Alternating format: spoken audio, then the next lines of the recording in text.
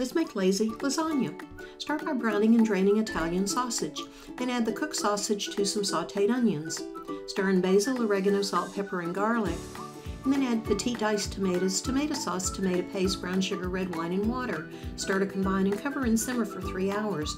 Add some meat sauce and ravioli to a casserole dish and top with more meat sauce, mozzarella, and parmesan cheese. Repeat the layering and cook at 400 degrees for 40 minutes.